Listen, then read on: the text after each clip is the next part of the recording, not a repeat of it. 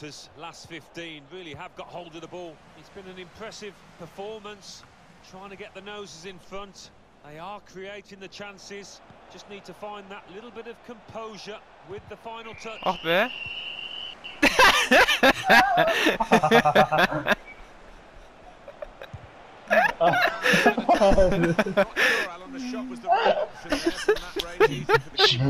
be. Teammates in support.